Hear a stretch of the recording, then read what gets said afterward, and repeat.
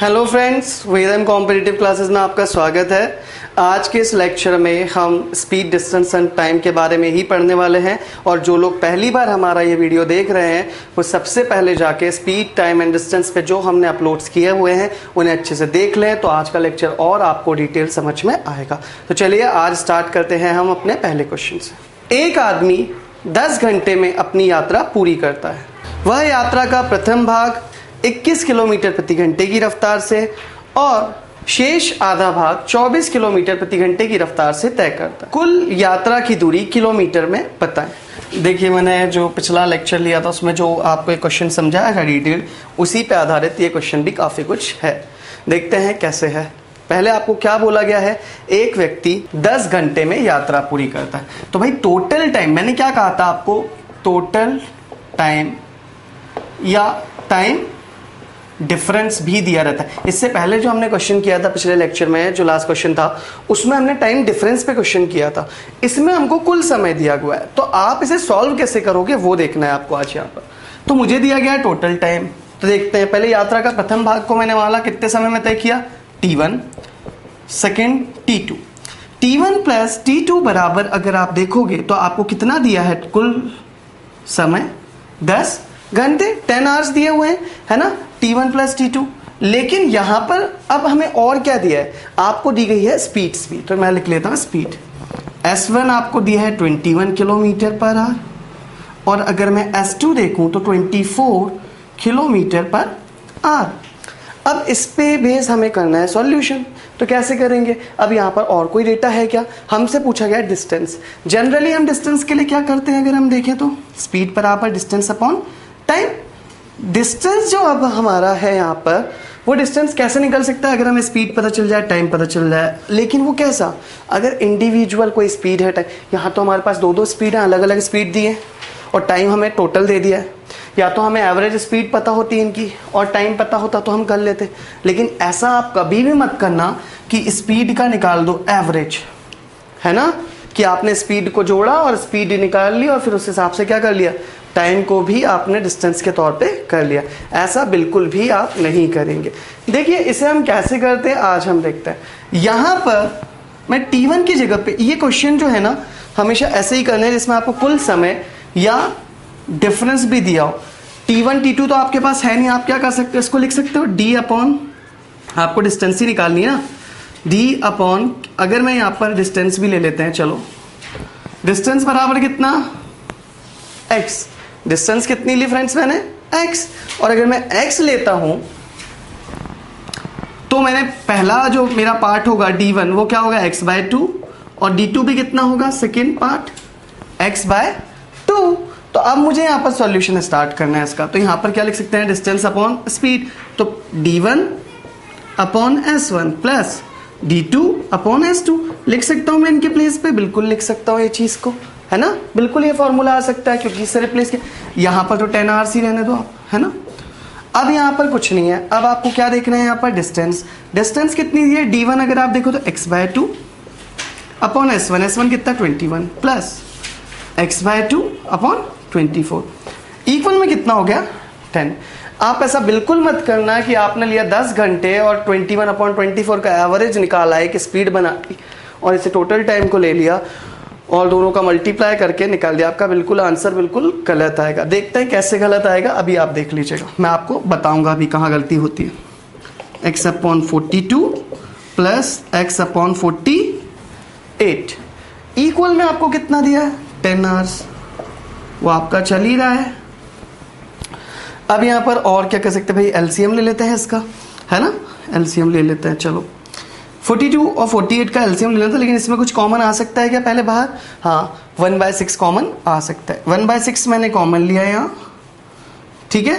One by six common ले लिया। तो x by seven plus x by eight बराबर टेन अब यहाँ पर क्या होगा? सिक्स कहाँ चलेगा? उससे चलेगा और ये एलसीएम हो जाएगा। तो कितना हो जाएगा? Eight x plus seven x plus fifty six बराबर सिक्स वहाँ गया तो कितना हो गया? सिक्सटी यहाँ पर कितना हो गया? सिक्सटी। अब आपको यहाँ पर सॉल्यूशन करना है तो देख लेते हैं अब आगे का कैसे होगा। फिफ्टीन एक्स बराबर क्या हो जाएगा आपका? Sixty into fifty six cancel किया फोर। मल्टीप्लाई करो 56 का फोर में। तो आप ये मल्टीप्लाई भी बहुत आसानी से कर सकते हो। कैसे करोगे? आपको लिखने की ज़रूरत नहीं, कुछ नहीं करना 56 50 प्लस सिक्स जैसा हो सकता है क्या? 50 प्लस छः भी 56 होता है। तो पहले आप 50 का फोर में करो। मतलब फाइव फोर ज़ा ट्वेंटी तो फिफ्टी फोर ज़ा टू हंड्रेड बचा कितना? सिक्स सिक्स फोर ज़ा ट्वेंटी फोर टू हंड्रेड और twenty four two twenty four तो ये जो है मेथड जो मैं बता भी चुका हूँ वीडियो भी इस पे अपलोड इस पे आप लोग कैलकुलेशन पे मेहनत करें। टू टू फोर किलोमीटर ये है आपका एक्चुअल आंसर अच्छा अब यहाँ पर अगर देखा जाए ऐसा क्यों नहीं हुआ कि मैंने बोला 21, 24 इसका एवरेज क्यों नहीं निकला? और नॉर्मल जो आप करते कि इन दोनों को जोड़ते है ना? और दो से डिवाइड कर देते 21 प्लस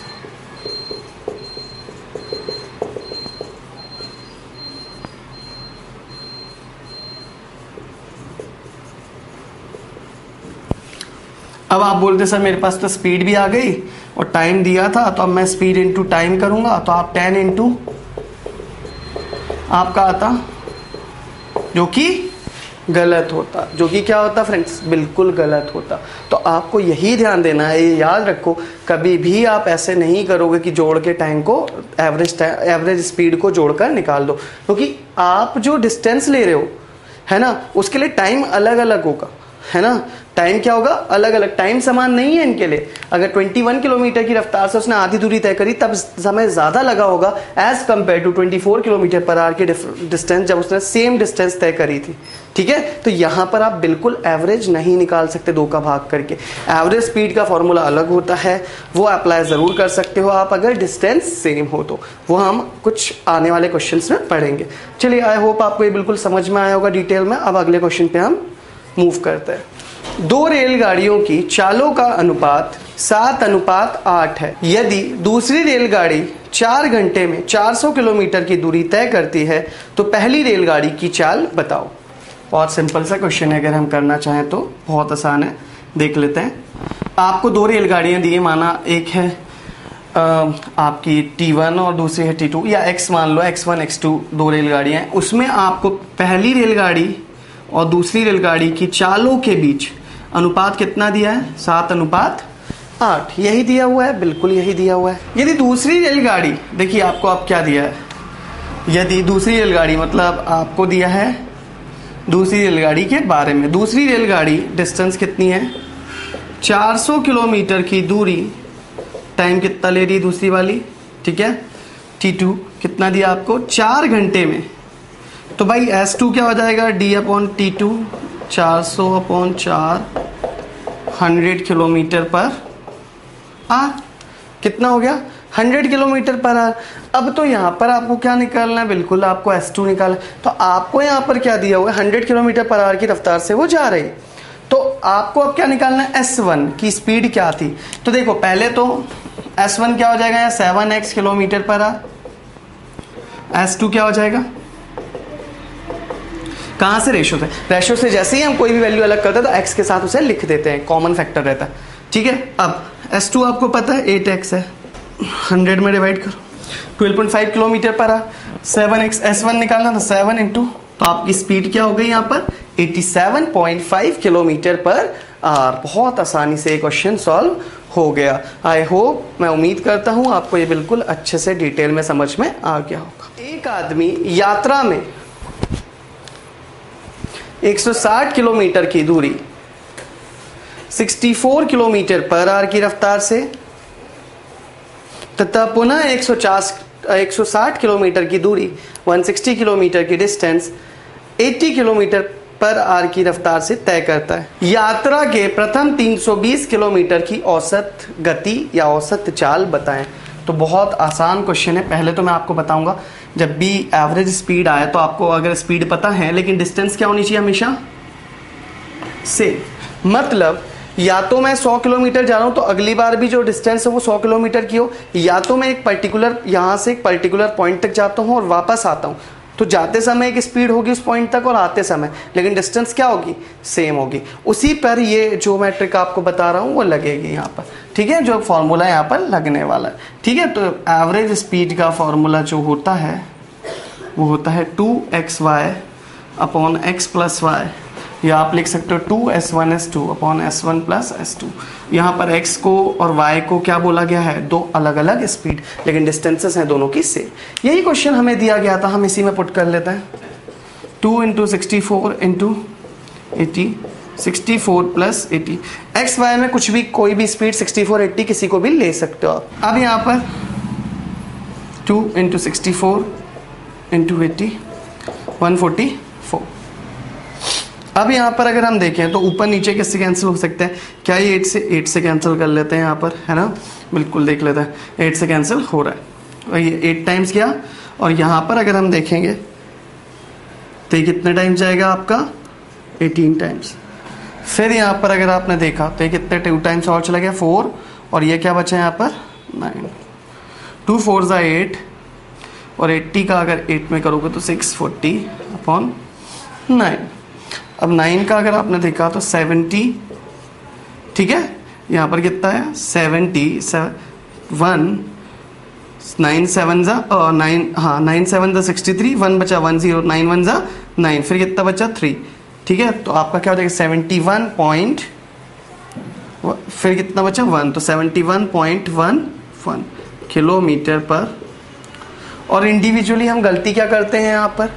हम गलती ऐसे कर देते हैं फ्रेंड्स हम कुछ नहीं करते, इन दोनों को जोड़ देते हैं और दो से भाग कर देते हैं। देखो, बिल्कुल गलत हो जाएगा ये अगर ऐसा करोगे आप। क्योंकि तो अगर डिस्टेंसेस सेम है स्पीड अलग अलग तो टाइम तो कुछ अलग अलग लगेगा दोनों को।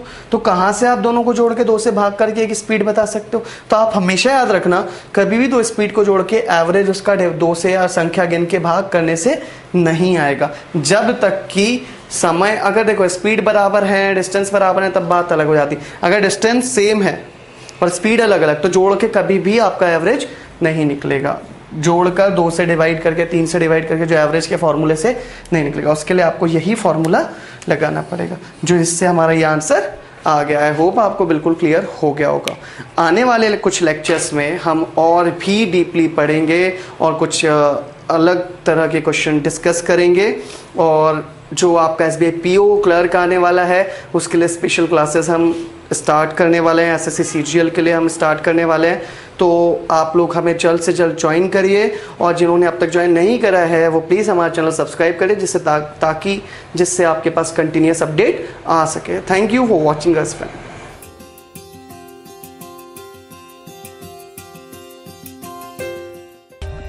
For more updates, subscribe to our channel, click the show links and enjoy watching the videos.